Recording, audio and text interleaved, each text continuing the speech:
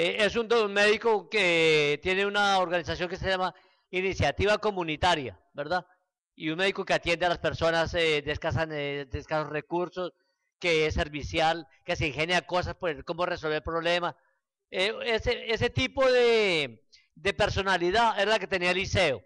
La, eh, la hermana Solisolina Ferré, que fue a la playa de Ponce y vio muchos niños abandonados esto, y organizó eh, el ministerio de la playa de Ponce. Y así otra persona, eh, la fondita de Jesús. ¿Alguien ha ido a la fondita de Jesús? ¿Cómo, ¿Cómo es la fondita de Jesús? ¿Qué es lo que prestan allí? Tú, la hermana de él está asistiendo allá, ¿verdad? Sí, ¿qué, qué has visto allí? Cuidan a los ambulantes, Sí. le dan comida, ropa, eh, tienen un locker. Sí. Les dan comida, ropa, los atienden eh, con tanto cariño, ¿no? Los asean.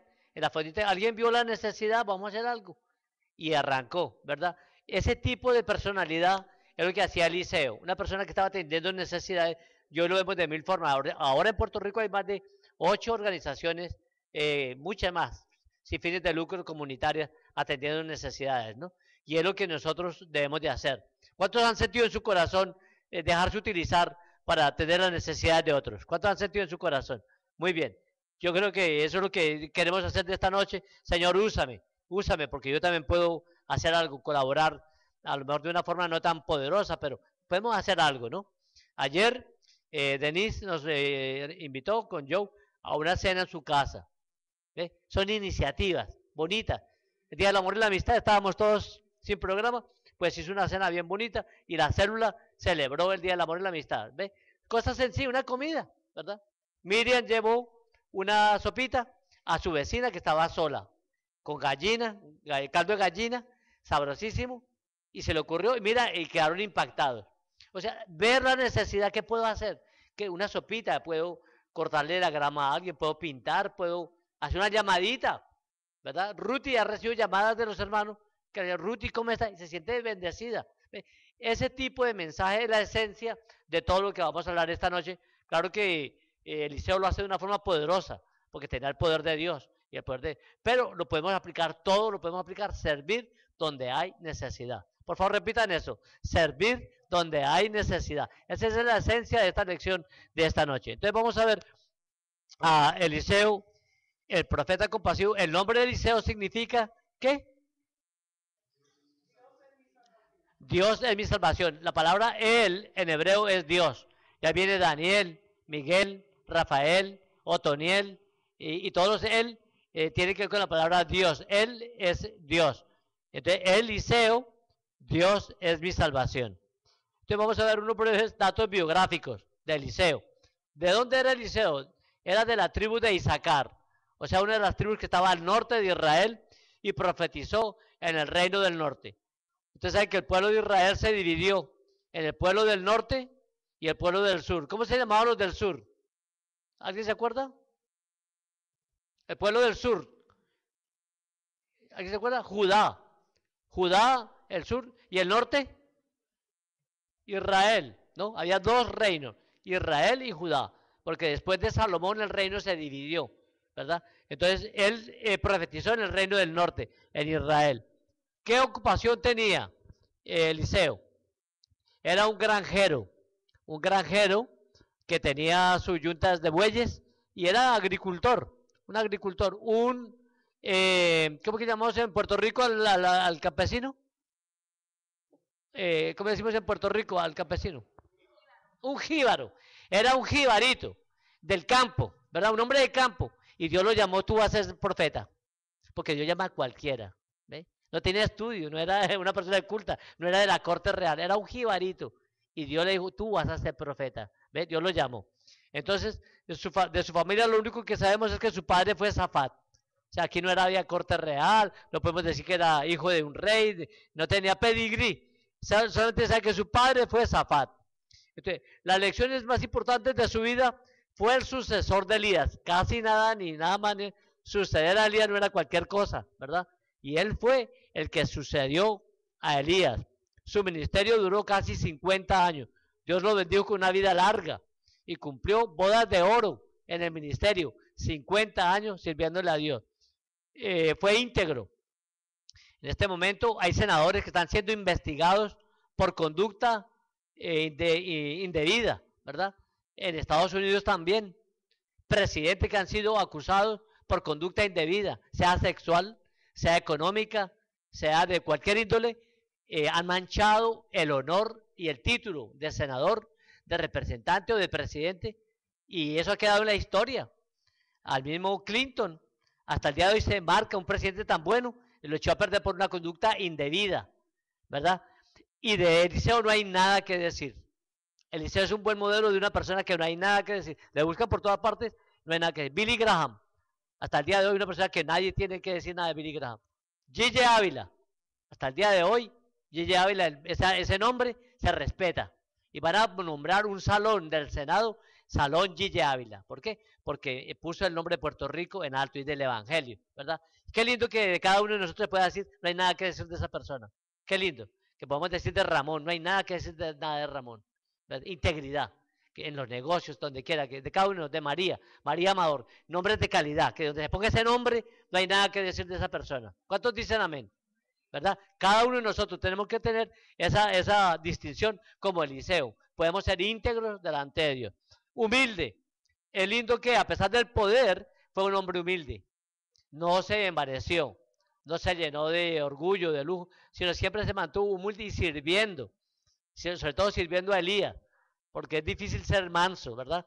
Y servir a otro es difícil, y someterse a otro es difícil, ¿verdad? ¿Por qué me tengo que someter yo al pastor? ¿Por qué me tengo que someter yo a mi papá? ¿Por qué me tengo que someter yo a mi jefe? ¿Verdad? Somos rebeldes, no nos gusta que nos pongan a, a nadie encima. Y él se sometió a Elías, no solamente se sometió, sino que le sirvió a Elías con humildad. Un buen ejemplo del siervo humilde, como ¿cuál fue el mejor siervo humilde del Nuevo Testamento?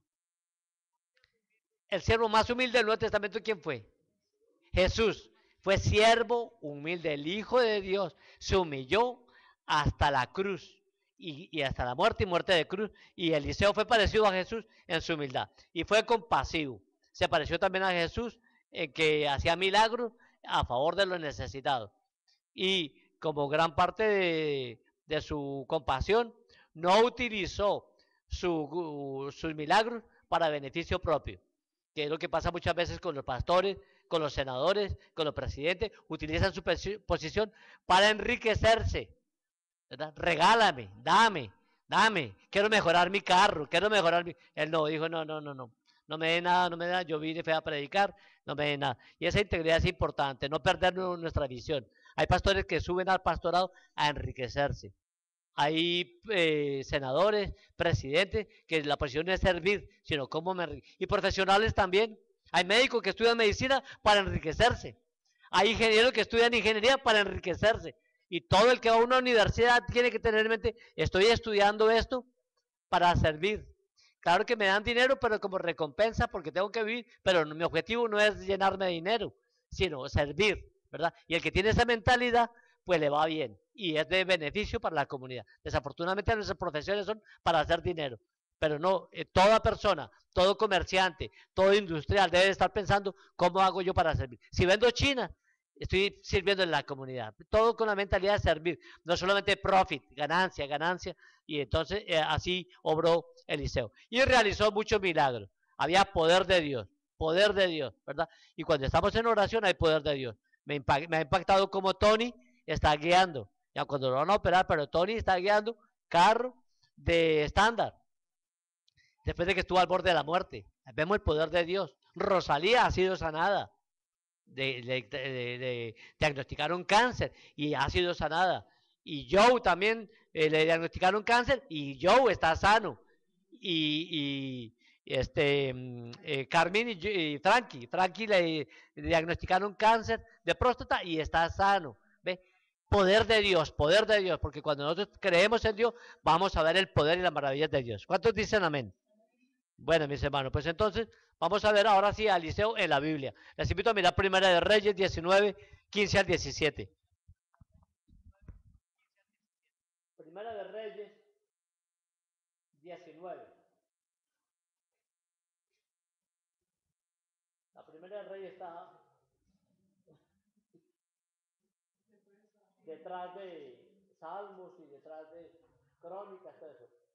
Primera de Reyes 19.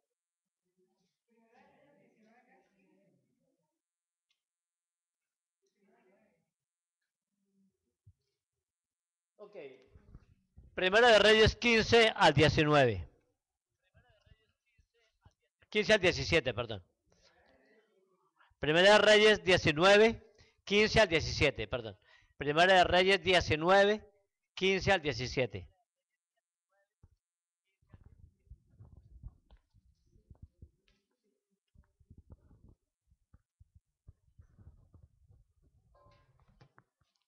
Muy bien.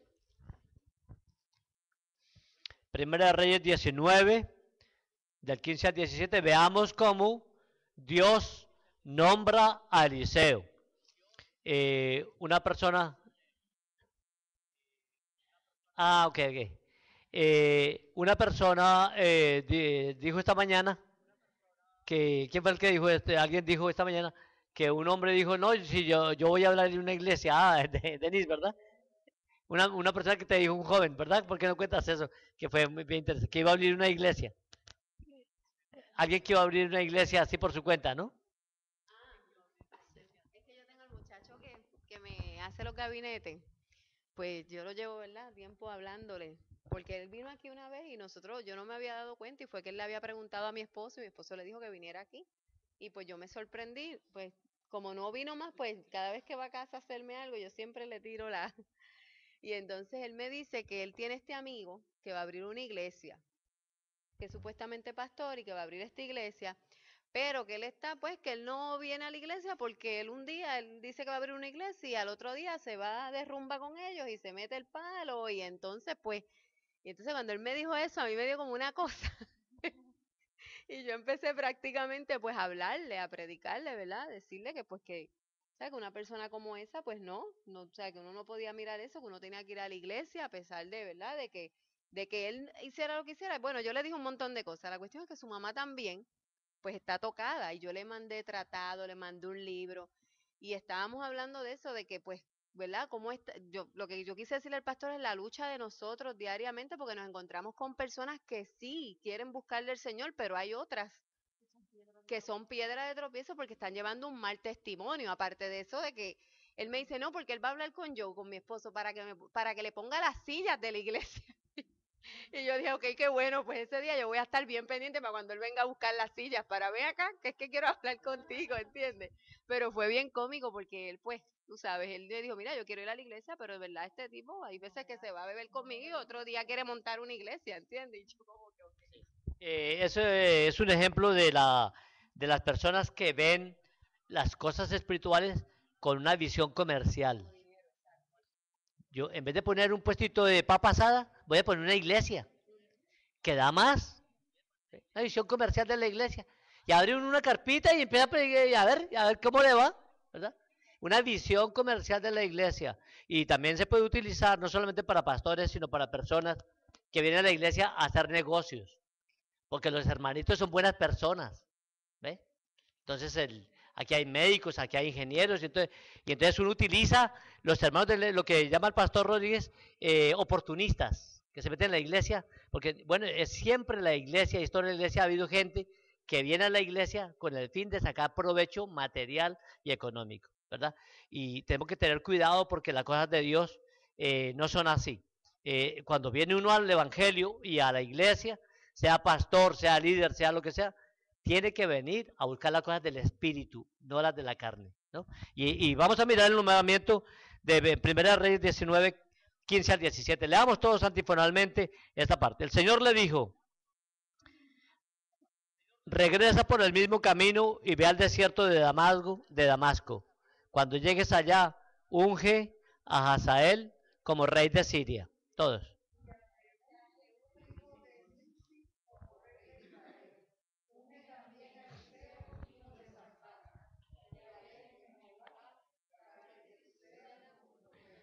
Jehú dará muerte a cualquiera que escape de la espada de Hazael, y Eliseo dará muerte a cualquiera que escape de la espada de Jehú.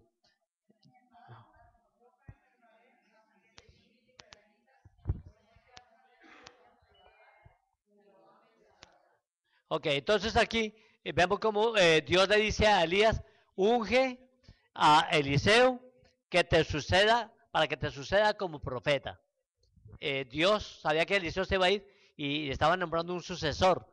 Y nosotros tenemos que estar velando qué nos va a suceder en el ministerio. Todo líder debe preparar a alguien que lo suceda, ¿verdad? El profesor, maestros de niños, los maestros de jóvenes, el pastor, tenemos que estar preparando gente que cuando yo no esté, siga con el ministerio. Muy bien, entonces ese fue el nombramiento. Ahora vamos a ver el llamamiento, versículos 19 al 21. Por favor, versículos 19 al 21. Elías salió de allí y encontró a Eliseo, hijo de Zafat, que estaba arando. Había doce yuntas de bueyes en fila, y él mismo conducía a la última. Elías pasó junto a Eliseo y arrojó su manto sobre él. Todos.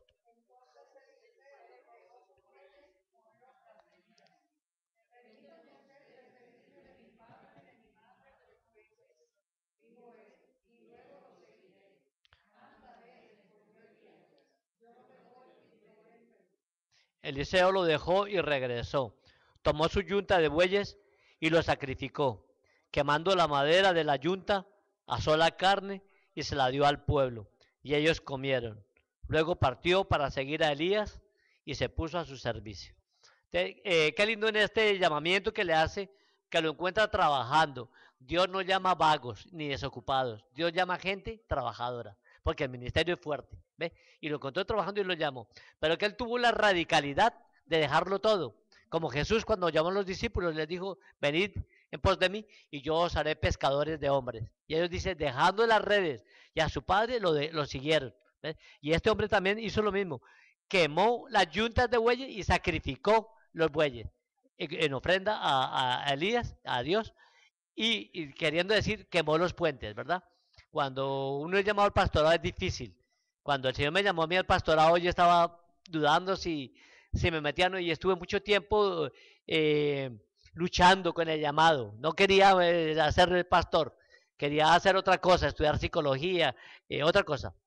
Y, pero el Señor llama y el llamamiento está ahí. ¿ve?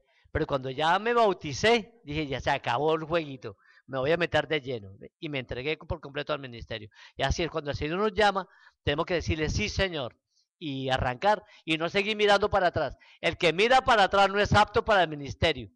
¿Ve? El que mira para atrás. Uno no puede estar sirviendo al Señor. Ay, cuando bailaba yo tan bueno. Ay, esos, traguitos que me tomaba. Qué pena yo ahora aquí como un santurrón. Y cuando hacía cuando uno está así mirando la vida del mundo, no es bueno para el reino de los cielos. Uno tiene que decir, ya acabé con esa vida. Yo estoy en lo que estoy. Yo soy del Señor. ¿Cuántos dicen amén? En sí, es, así importante. La persona que mira hacia el mundo no, no le agrada al Señor. Muy bien.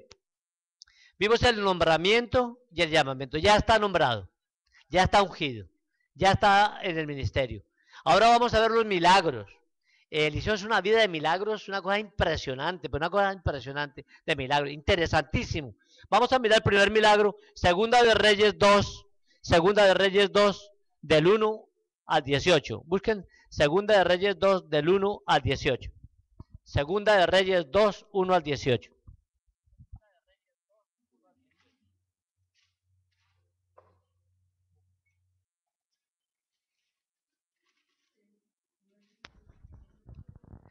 Segunda de Reyes 2, 1 al 18. Ok, vamos a ver aquí eh, cómo eh, Elías parte de una forma milagrosa y Eliseo parte el río Jordán en dos. O sea, unas cosas eh, como si fuera Moisés partiendo el mar rojo, ¿verdad? Vamos a leer porque es bien interesante. Como esto es narración, lo mejor es leer, porque eso es un cuentito. Cuando se acercaba la hora en que el Señor se llevaría a Elías al cielo en un torbellino, Elías y Eliseo salieron de Gilgal, todos.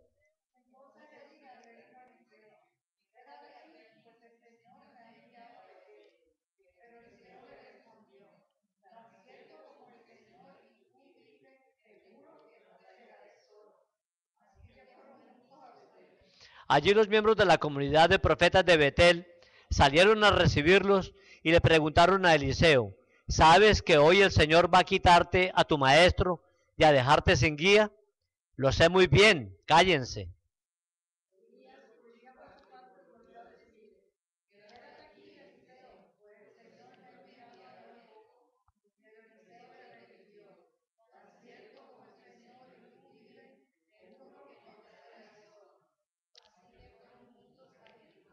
También allí los miembros de la comunidad de profetas de la ciudad se acercaron a Eliseo y le preguntaron, ¿sabes que hoy el Señor va a quitarte a tu maestro y a dejarte sin guía? Lo sé muy bien, cállense.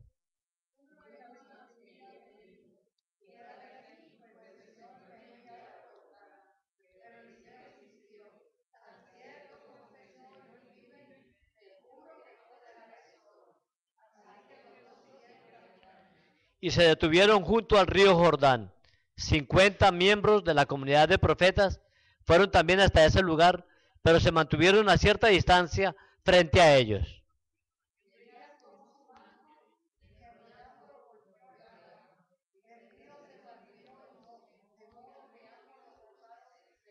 Al cruzar, Elías le preguntó a Eliseo, ¿qué quieres que haga por ti antes de que me separen de tu lado?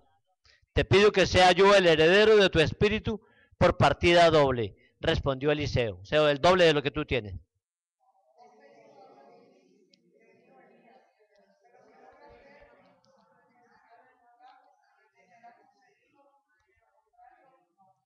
Iban caminando y conversando cuando de pronto los separó un carro de fuego con caballos de fuego y Elías subió al cielo en medio de un torbellino.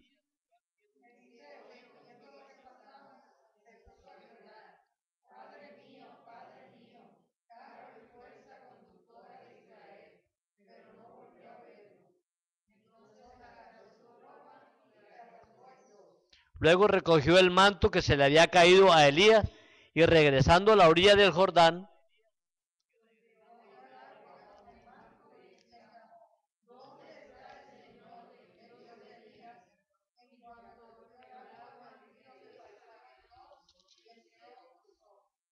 Muy bien, ven el poder cómo descendió al, tirar el manto, el río se partió en dos, o sea que ya él se dio cuenta que tenía el poder de Elías, que eso lo, lo que lo hacía era Elías, ¿verdad?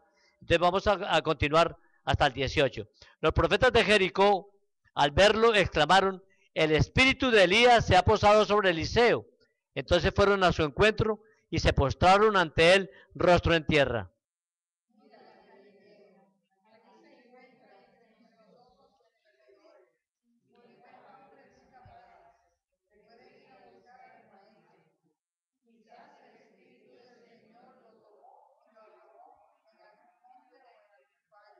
No, respondió Eliseo, no los manden.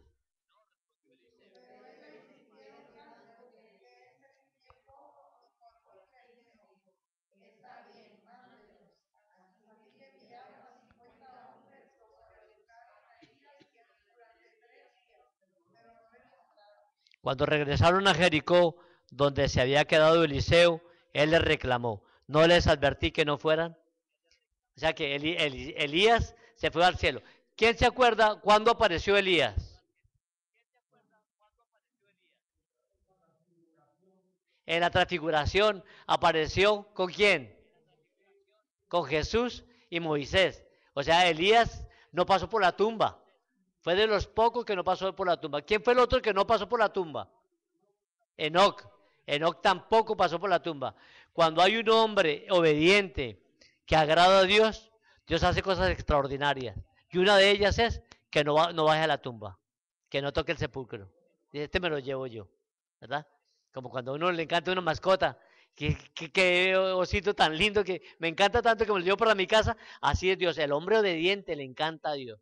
El hombre puro, el hombre íntegro, le encanta hasta el punto que dice, no, no, este me lo llevo para mi casa como está, no para por la tumba. Qué maravilloso, ¿verdad? Y ese fue Elías. Elías fue un hombre eh, que agradó a Dios de una forma excepcional y se lo llevó Dios vivo. Ok, entonces ahora vamos a empezar a ver milagro tras milagro de Eliseo, milagro tras milagro, podemos estar horas hablando. Vamos a mirar 19 al 22, otro milagro, cómo purifica Eliseo el agua. 19 al 22. Luego los habitantes de la ciudad le dijeron a Eliseo, Señor, como usted puede ver, nuestra ciudad está bien ubicada, pero el agua es mala y por eso la tierra ha quedado estéril.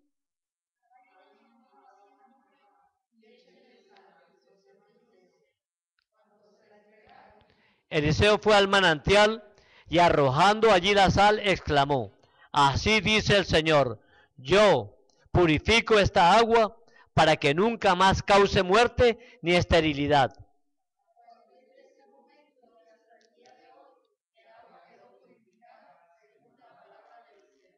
Qué tremendo, ¿verdad? Qué palabra de autoridad. Purificó el agua.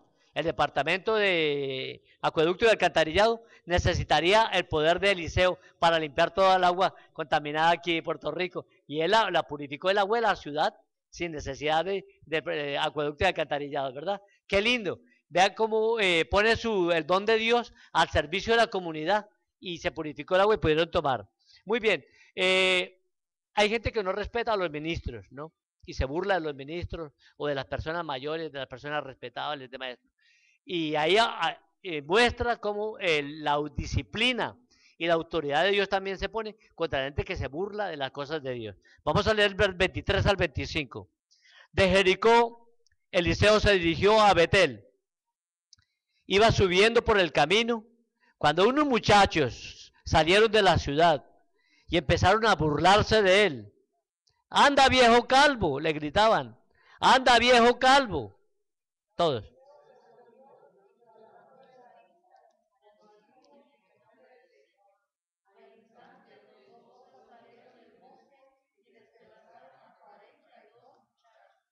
Ok, vemos ahí, hermanos, la importancia de respetar a los siervos de Dios y enseñarle a los niños, a los jóvenes, respeta a los mayores, respeta a los pastores, respeta a los siervos de Dios, porque una maldición de un siervo de estos es cosa seria. Y, es importante, eh, cuando veamos un pastor por la televisión, no ponernos a, a, criticar, a evitar, dejarlo orar por los pastores. Ahorita hay una iglesia en crisis, en vez de ponernos a criticar la iglesia, oramos por esa iglesia, en vez de, de rugar rumores. Eh, y así. Tenemos que eh, salvaguardar y respetar la, obra de Dios. Y así nos evitamos problemas. Muy bien, entonces vamos a mirar eh, ahora cómo hace un milagro muy parecido al de Elías, que multiplica el aceite de la viuda. Segunda de Reyes 4. Segunda de Reyes 4, 1 al 7. Un, un milagro parecido al de Elías que le multiplica el aceite a una viuda. Segunda de Reyes 4, del 1 al 7. La viuda de un miembro de la comunidad de los profetas le suplicó a Eliseo, mi esposo, su servidor, ha muerto, y usted sabe que él era fiel al Señor. Ahora resulta que el hombre con quien estamos endeudados ha venido para llevarse a mis dos hijos como esclavos. Todos.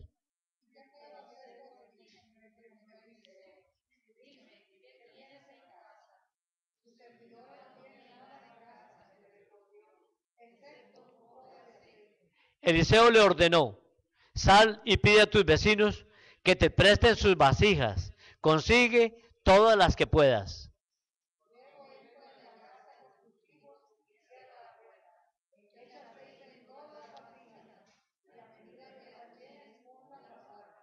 Enseguida la mujer dejó a Eliseo y se fue. Luego se encerró con sus hijos y empezó a llenar las vasijas que ellos le pasaban.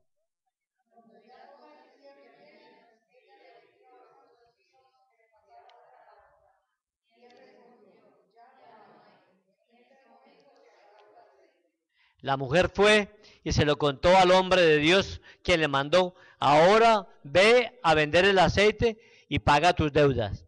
Con el dinero que te sobre podrán vivir tú y tus hijos. Qué precioso, ¿no? Una microempresa le dio a la mujer, ¿verdad? Una fábrica de aceite, eh, aceite, eh, no sé cómo se llama aquí el aceite, Goya, eh, aceite Goya, aceite de oliva, un aceite delicioso y la mujer pudo pagar todas sus deudas. Utilizó el poder de Dios para resolver problemas de la comunidad. La iglesia tiene el deber de hacer eso. Nosotros tenemos la bendición de Dios. Tenemos que mirar cómo podemos ayudar a las personas para crear industria, para crear empresas. ¿no? La mujer hoy en día eh, sola necesita mucho apoyo eh, en sus finanzas está sola, eh, o el marido es un irresponsable, es un drogadicto, es un sinvergüenza, bebedor, que no apoya nada, pues esa mujer hay que ayudarla, ¿verdad? Porque está sola. Entonces, eh, la iglesia tiene ese deber.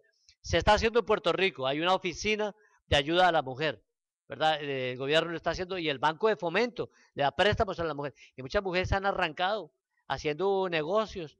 Eh, ¿Alguien sabe algún ejemplo de una mujer que haya eh, empezado negocios eh, y que haya tenido éxito? Floristería, salón de belleza. ¿Ah? ¿Cómo? Ah, sí, eh, exacto, de galletas, de, de galletitas y brownies. Sí. Bloque Carmelo, que la dirige una, una la hija de él, que subió esa empresa muchísimo. Bloques Carmelo, Ok, una compañía bien sólida aquí en Puerto Rico. ok. Sí, hay mucha creatividad, ¿no? Y, eh, eh, supe que ahora están haciendo champiñones en Puerto Rico, hongos, eh, setas. Está- alguien dice, vamos, el champiñón es tan fácil de hacer porque es tierra húmeda y, y- y se vende caro porque el champiñón es un, producto de delicatessen, ¿verdad? Pues entonces están haciendo eso. O sea, y la iglesia va creando industrias y formas de coser. Mi madre nos crió a nosotros con costura, cosiendo, cosiendo, co- cosiendo, ¿ve? Y mi tía también crió a sus hijas cosiendo. O sea, eh, el hombre de Dios tiene que mirar cómo ayudamos a la mujer a que cree su propia industria, su propio negocio, y esa es una función de la iglesia, como hizo Eliseo. Muy bien, veamos ahora eh, cómo eh, eh, un milagro creativo de una mujer que no podía tener hijos, ¿ve? Y creó un programa de fertilización in vitro, no, no in vitro, digo, fertilización milagrosa, y, y la mujer que no puede tener, tiene un hijo. ¿A quién se parece este milagro?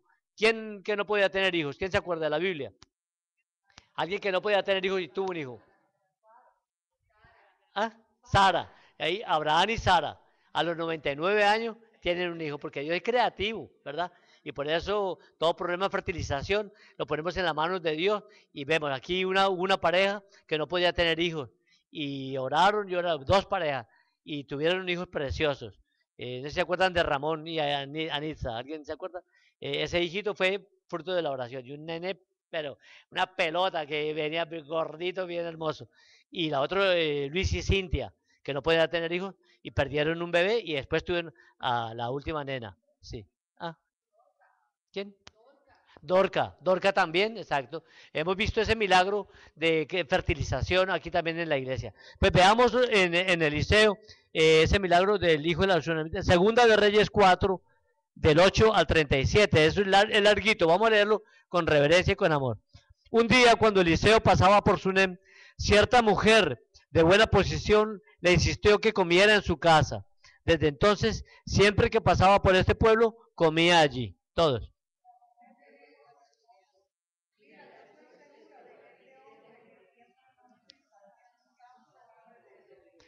Hagámosle un cuarto en la azotea y pongámosle allí una cama, una mesa con una silla y una lámpara. De este modo, cuando nos visite, tendrá un lugar donde quedarse.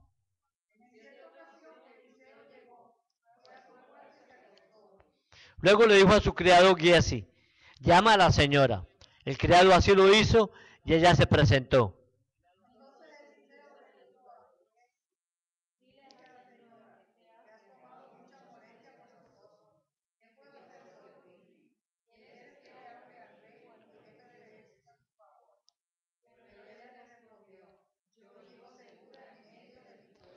Eliseo le preguntó a Giesi, ¿qué puedo hacer por ella? Bueno, contestó el siervo, ella no tiene hijos y su esposo ya es anciano.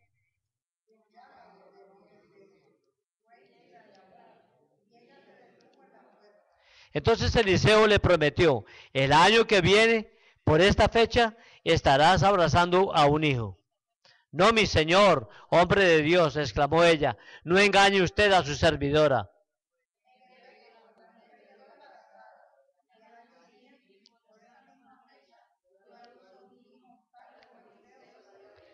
El niño creció y un día salió a ver a su padre que estaba con los segadores.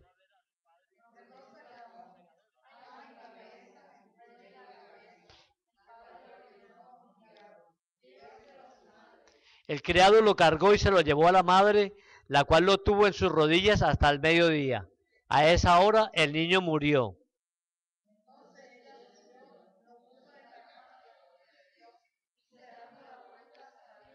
Después llamó a su esposo y le dijo, préstame un criado y una burra. Enseguida vuelvo. Voy deprisa a ver al hombre de Dios.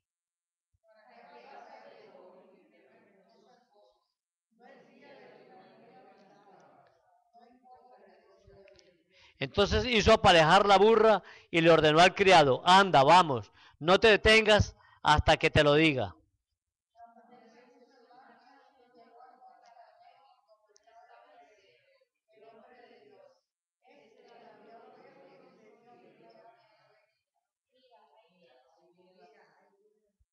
Corre a recibirla y pregúntale cómo está ella y cómo está su esposo y el niño. El criado fue y ella respondió que todos estaban bien.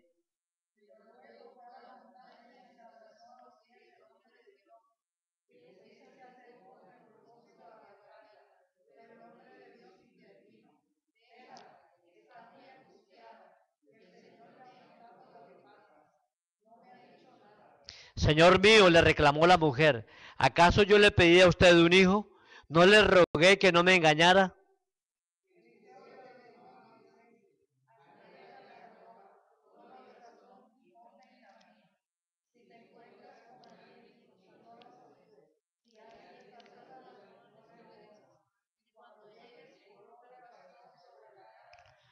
Pero la madre del niño exclamó, le juro a usted que no lo dejaré solo, tan cierto como que el Señor y usted viven. Así que Eliseo se levantó y fue con ella.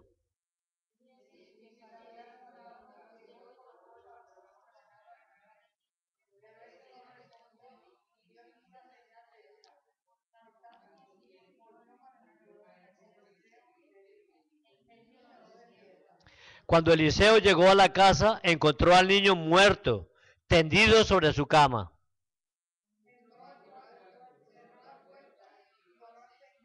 Luego subió a la cama y se tendió sobre el niño boca a boca, ojos a ojos y manos a manos, hasta que el cuerpo del niño empezó a entrar en calor.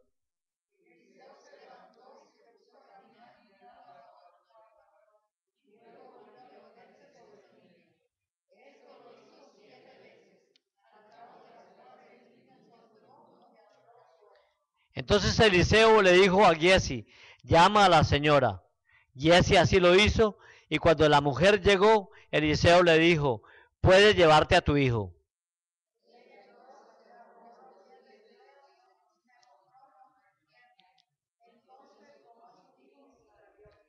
Qué tremendo, ¿verdad?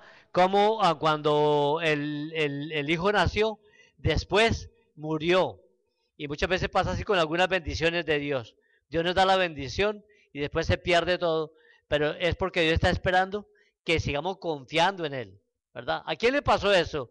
Eh, con el hijo que Dios le dio y después el Señor le dijo que lo, se lo entregara. ¿Qui- ¿Alguien se acuerda en el Antiguo Testamento? ¿Quién, quién tuvo? Abraham, ¿verdad? Abraham tiene a Isaac después de 99 años y Dios le dice, sacrifícame a tu hijo. ¿Sabe por qué? Porque hay personas que cuando reciben la bendición se enamoran de la bendición y se olvidan de Dios. ¿Ve? Hay personas que compran un bote y después de que tienen el bote, se acabó la iglesia. No que tengo que ir al bote, que voy a lavar el bote, que vamos el domingo para el bote. Y se olvidan de la iglesia. O cualquier otra cosa que te distraiga. A veces la bendición te aparta de la- del, del Señor. ¿Ah? Exacto. Sí.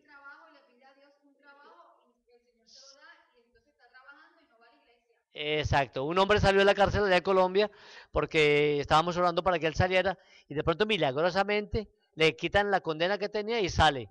Entonces le compartimos, estábamos orando por ti y entonces aceptó al Señor. Y entonces eh, te va a ir bien, aceptó al Señor y empezó bien. Salió de la cárcel demacrado, pálido y empezó a mejorar. Y entonces consiguió trabajo rápido. Y entonces, ay, mire, conseguí trabajo. Entonces ya venía ejecutivo con su maletín y todo a las reuniones de la célula, a orar y todo. Y estaba creciendo. Y de momento empezó a decir, mira, no puedo ir porque tengo un negocio. Este, esta semana no voy, la próxima vengo. Y la otra semana, mira, me salió otro negocio, no puede. Y así empezó, negocio tras negocio tras negocio. Y se apartó del- de, la célula. ¿Sabe qué pasó? Cuando nos informan, lo habían vuelto a coger preso. Estaba otra vez en la cárcel. Le dijimos, mira, Dios te bendijo. Y la bendición que Dios te dio te sirvió para apartarte del Señor. Y ahora mira dónde estás otra vez. Y volvió a salir y se entró a la iglesia y toda la vida estuvo en ese plano. Cuando le iba bien, estaba en eh, eh, se iba. Y cuando estaba mal, venía, ay, ore por mí, otra vez, mira, estoy enfermo. Cuando se mejoraba, otra vez. se- Y hay personas que están así, que no se comprometen, que no están en el Evangelio por Dios, están por la bendición. Que el Señor me conceda el carrito, que el Señor me conceda la casita, que el Señor me conceda el trabajito, que el. Y cuando lo consiguen, bye, no tengo tiempo. Y pastor, y son disculpas tras disculpas, y buen- disculpas buenísimas, pero disculpas. ¿ve? Y el infierno va a estar lleno de disculpas, disculpas buenísimas. Pero Dios no quiere disculpas, Dios quiere que seamos fieles. A- a- como decía el, pastor Terranova, ¿verdad? Ramón trajo esa cita muy buena.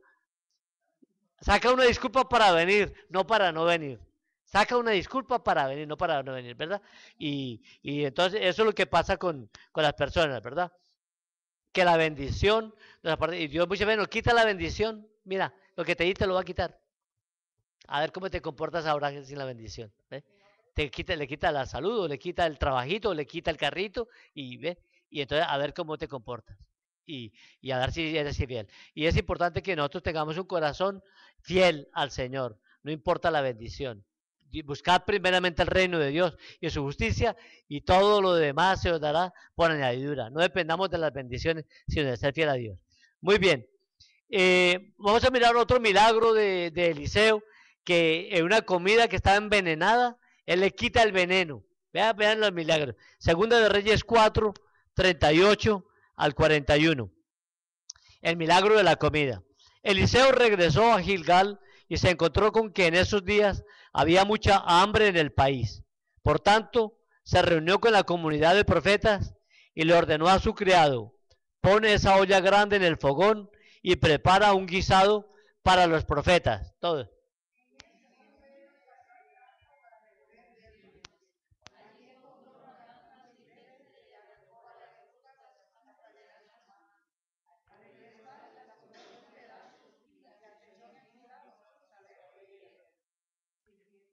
Sirvieron el guisado, pero cuando los hombres empezaron a comerlo, gritaron, hombre de Dios, esto es veneno. Así que no pudieron comer.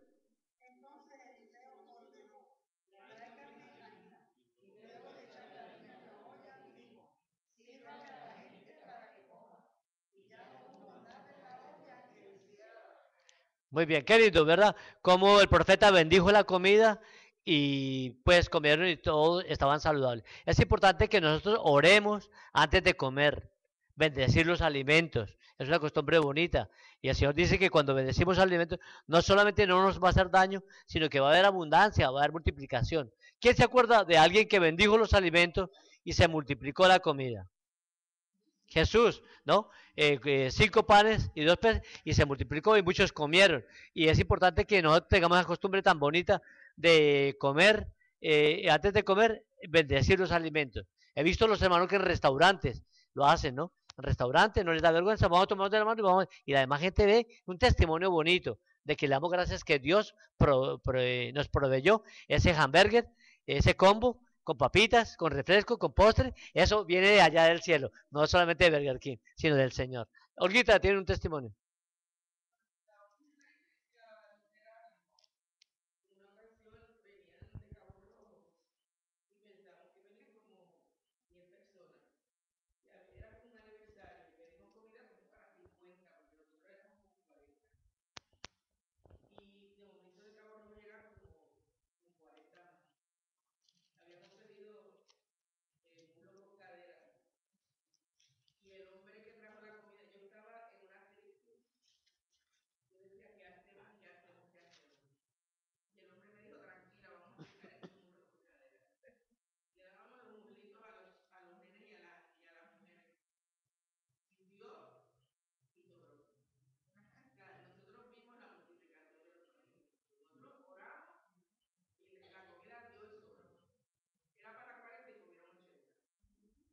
Muy bien.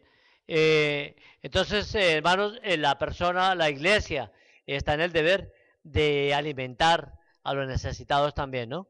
Jesús proveyó, multiplicó. Vamos a ver una multiplicación también que hace Eliseo en eh, Segunda de Reyes 4, 42 al 44. Segunda de Reyes 4, 42 al 44. De Baal, Salisá, llegó alguien que le llevaba al hombre de Dios pan de los primeros frutos, 20 panes de cebada y espigas de trigo fresco.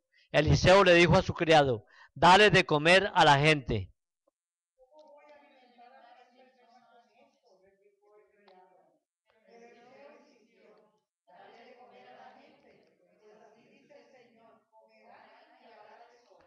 Entonces el criado le sirvió el pan y conforme a la palabra del Señor, la gente comió y hubo de sobra, ¿verdad? Es que lindo, como dice el Señor, dale de comer a la gente, pero ¿de dónde? Si no te, con lo que tienes, con lo que tienes, ¿ve? Saca lo que tienes y el Señor va a multiplicar. Y es importante que nosotros seamos generosos con los pobres, ¿no? Y que invitemos a nuestra casa a los necesitados, a los pobres. Qué lindo llevar de pronto una persona pobre que no tiene que comer, una familia, y llevar a nuestra casa a comer y abrir más nuestras casas, ¿no? Que sean casas donde de bendición. Estamos en ese deber. Todos podemos hacerlo, ¿verdad? Eh, darle algo a un deambulante. ¿Qué más podemos hacer para proveer ayuda a los necesitados? Aquí- Exacto.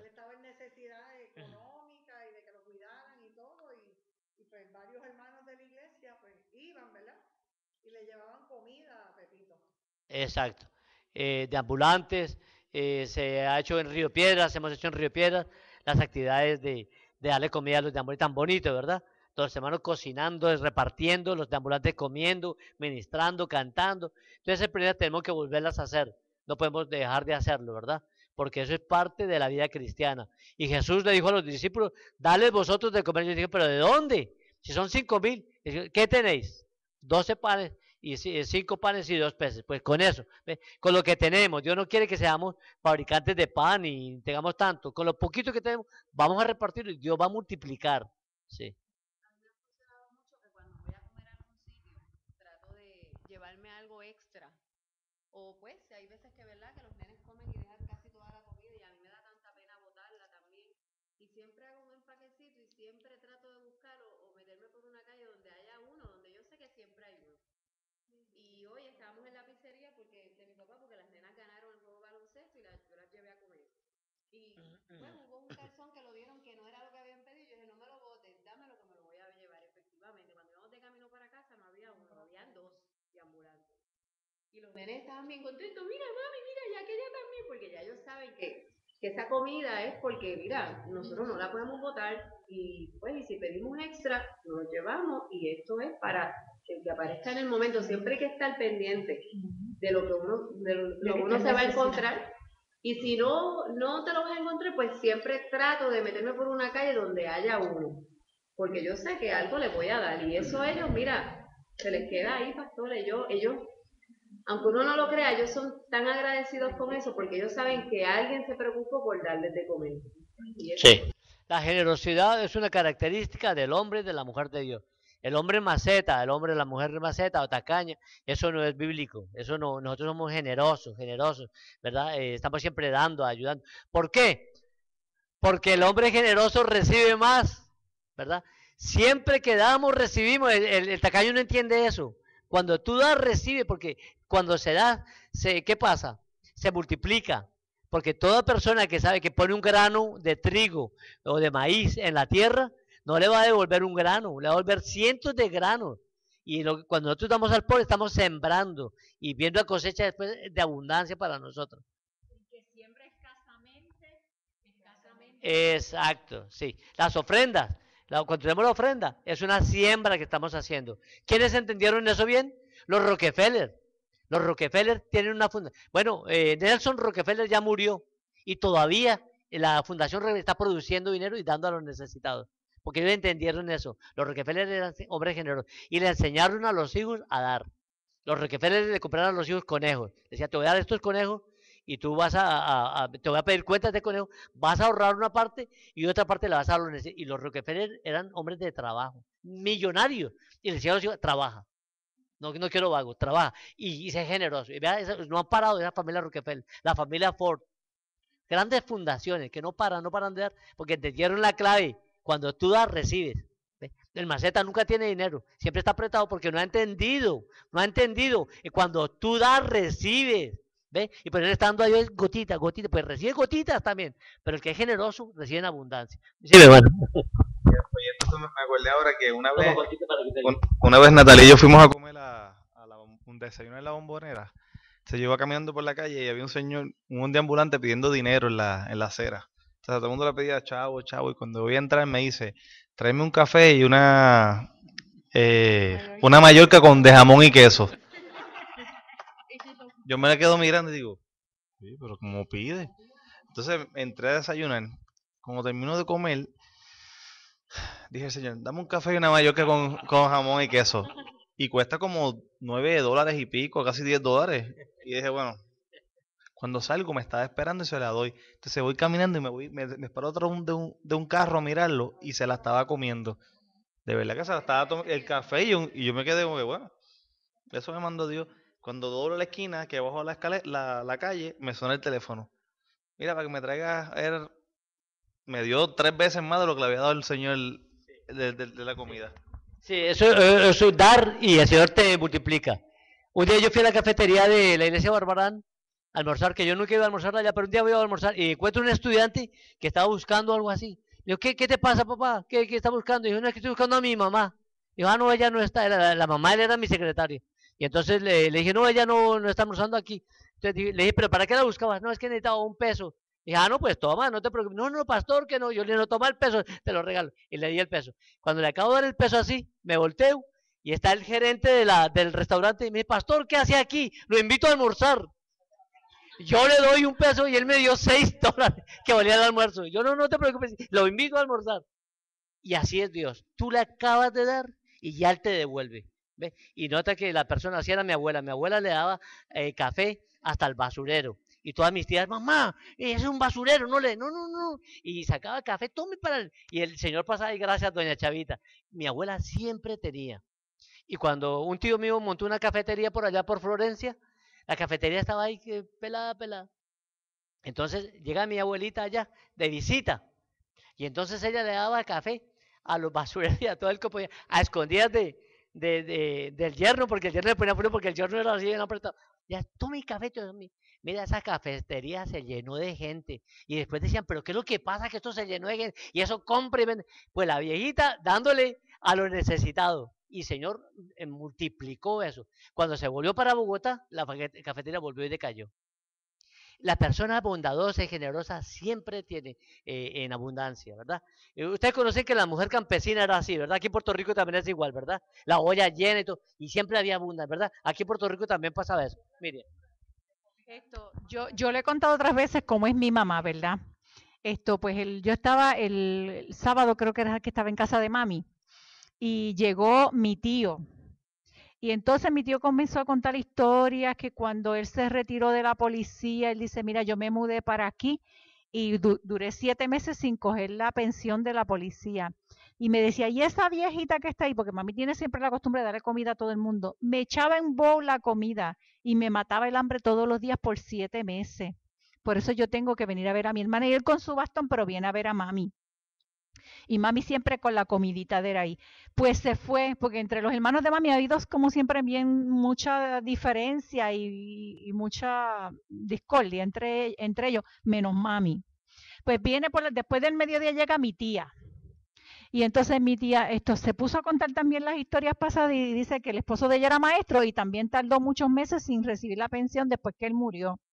Y me decía, pero esa viejita que está ahí, la gallina la picaba en dos y me guardaba la mitad para que yo me llevara una comprita para mi casa. Por eso yo ahora, cuando recibo el cheque del retiro, yo siempre le traigo 10, 20 pesitos porque ella también durante mucho tiempo me dio de comer.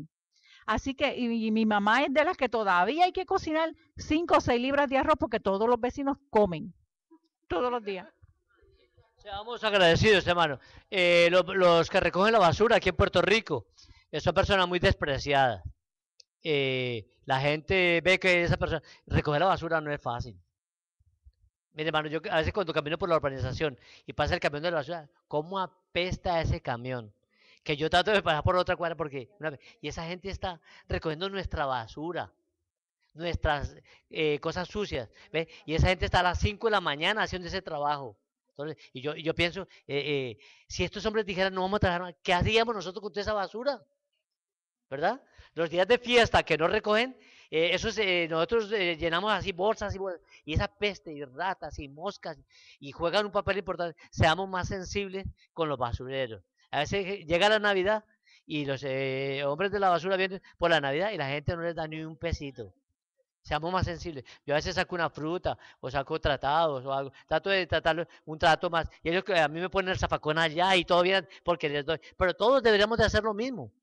Es más sensible con la persona que hacen los trabajos más difíciles. ¿A quién le gustaría recoger la basura a otro? A nadie. Y, seamos sensibles. Con yo no tengo aquí muy despreciado el, el basurero y la persona que trabaja humildemente en ese trabajo. Seamos más sensibles con el basurero que está en nuestra casa toda la semana. Está ahí en la puerta. Se- seamos sensibles, démosle un cafecito, un pesito extra, tratadito. Va a ser de gran alivio para esos seres humanos. Sí, María. que ellos este pues se llevan la basura, pero ellos ellos hay basura que es muy pesada o muy grande que ellos no se la llevan, que tú tienes que llamar al municipio. Pero sin embargo, ¿verdad? Pues yo, por ejemplo, a veces uno hace construcciones o cosas, y que sí o qué. Y entonces, pues yo cuando es algo así o más grande, pues entonces pues le doy una propina, ¿verdad? Depende de lo que se lleve, 10, 20 dólares y ellos bien agradecidos. Mucha gente dice, no, pero no hay que darle nada. Yo, por ejemplo, entonces uno, ah, no solamente con el testimonio que uno lo haga, sino porque la vecina también yo le dije, sí, pero no, pero es que ellos se lo tienen que llevar. Y yo, no, porque ellos no tienen que llevársela. Pero déjamele la, la, la- eh, es que yo no voy a estar, yo no, no, pues déjame la propinita que cuando ellos vengan yo estoy pendiente. Y entonces, y así lo he hecho. ¿Ves? Este, hubo otro vecino que tenía otra construcción y tenía una cosa así, pero bien grande. Y yo le, le dije lo mismo. Mira, ellos no se la van a llevar, pero puedes llamar al municipio, pero cuando vengan, por favor, darle una propina. Entonces, yo no voy a estar, yo dije, pues no importa, me la das a mí que yo se las doy. Y yo se las hacía llegar. Sí. Bien, hermano, muchas lecciones de, de Eliseo. Eh, Eliseo fue un hombre íntegro, me gustó. No lo vamos a leer porque es largo, pero Eliseo eh, eh, sanó a Naamán, que era un rey de otro país, y estaba leproso. Y una sierva le dijo, ve a, Israel, que allá hay un profeta de Dios. Y, Eliseo le dijo, vete al río Jordán y lávate siete veces. Y el, rey se puso furioso, ah, lo que me manda. que-". Y los siervos le dijeron, si le hubiera mandado algo difícil, usted lo hubiera hecho. Pues lávate. Se lavó y fue sanado. Entonces el rey en gratitud le dijo, pídeme lo que quiera, pídeme lo que quiera, yo te doy dinero, lo que necesites. Y, Eliseo le dijo, no, no, no, no, no, yo estoy cumpliendo con lo que Dios me mandó, no, no me des dinero, no, me, no, no quiero nada, vete tranquilo. Entonces el hombre se fue. Y el siervo, Gi- Giesi, que lo hemos visto, el siervo dijo, qué bobo, qué bobo Eliseo. En vez de haberle eh, pedido algo, si le pidió algo, pues yo me voy a, aprovechar. Y se fue corriendo de detrás del rey. Y le dijo, mira, eh, eh, rey, es que eh, acaban de llegar unos profetas y necesitamos ayuda económica. A ver si tú me das tanto. Y le pidió, hizo un pedido ahí, lo sobornó. Y él dijo, claro, claro, te voy a dar todo lo que, claro, para el pro- profeta, todo, pensando que Eliseo lo estaba mandando. Y el, el siervo se fue calladito sin decirle a Eliseo. Y le dio todo. Y cuando llegó a donde Eliseo, le dijo, ¿qué estabas haciendo? Imagínate engañar a un profeta como Eliseo. ¿Qué estabas haciendo? No, nada, nada. Tú le pediste a él eh, bienes y, ayuda, ¿verdad? Económica. Se supone que no pidamos eso. Pues por cuanto tú has abusado del ministerio, ahora la lepra que él tenía se te pegará a ti. Y quedó leproso en el blanco forrado en lepra. Ve, eh, si eso sucediera hoy, ¿cuántos estarían blancos en el, en el Senado y en el Capitolio, verdad? Forrados en lepra, ¿verdad? Soborno tras soborno. Vivimos de unos gobiernos de gente que se sube al poder a llenarse de plata, ¿verdad?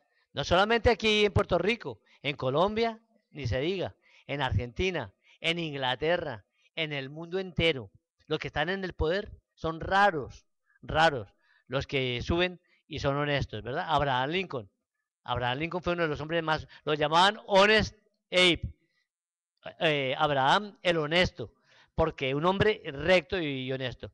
Eh, John F. Kennedy dijo, no pidas, no digas, ¿qué puede hacer mi país por mí? Sino qué puedo hacer yo por mi país.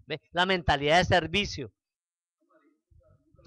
Muñoz Marín, ayudando al pueblo. Habichuelas y arroz para, para el pueblo. Sentado con los campesinos. ¿Qué? Impactó a Puerto Rico.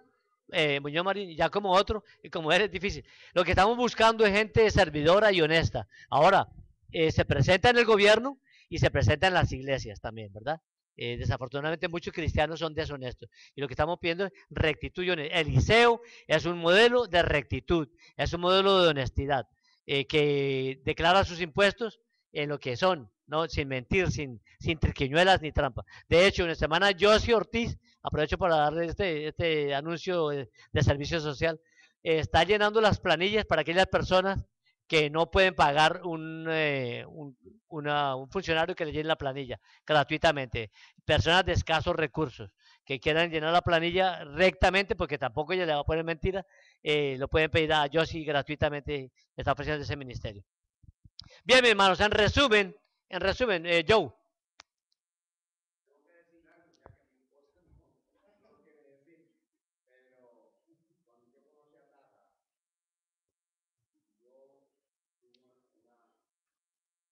Una bendición tan grande porque ella me dijo, cuando llegamos a la casa de ella, que ellos eran como 10 hermanos. Pero cuando yo fui a la casa, había como 20 muchachos. Yo le digo, pero ven acá, tata, tú me dices que tú tienes 10 hermanos y aquí como 22 muchachos. muchachos. A nosotros hermanos míos también. Y sabe qué era, que la mamá, que esos muchachos no tenían dónde vivir, no se los movía la mamá, y ella no llevaba a la casa. Y, y, allí ella me decía, nosotros somos 10, pero yo tengo como 22 hermanos. Y ahora, ahora eh, la mamá de ella se pasaba dándole comida a todos los muchachos y ya, pues, y no venía y todo ya. Yo lo llevaba. Bien, gracias, Joe. Gonzalo, Mi mamá- gracias, Mi Joe. mamá iba al campo y traía cada vez que se moría alguien del centro de ahí, de los que trabajaban ahí, eh, se los traía. Y tenemos seis hermanos de, crianza. Y eran iguales que los otros, tenían las mismas, este, o sea, comían el mismo, lo mismo, vestían lo mismo, era- eran separados. Iban a la universidad, a la escuela, todo. Ok, y hay muchos ministerios, ¿no? Que, que se desarrollan a partir de esa actitud. El Señor dice que Dios nos llamó de las tinieblas a su luz admirable, a fin de anunciar las virtudes de aquel que nos llamó. Lo vimos el lunes, ¿verdad, Ramón? Sí. Eh, cuando uno se hace cristiano, la mentalidad cambia. El, que está en el mundo piensa es, ¿cómo me, aprovecho de la gente? ¿Cómo me aprovecho? ¿De quién me sirve? El cristiano, ¿cómo puedo servir? Venimos la iglesia, ¿cómo puedo servir? ¿Cómo puedo dar? ¿Verdad? Y ese es el que es tacaño no se ha convertido. Es la antítesis del cristiano. El que es tacaño nunca se ¿Sabe por qué? Porque ama el dinero. Y una característica del cristiano es que ya no ama el dinero. Lo da, lo da porque sabe que Dios bendice también. Sí, mi hermana.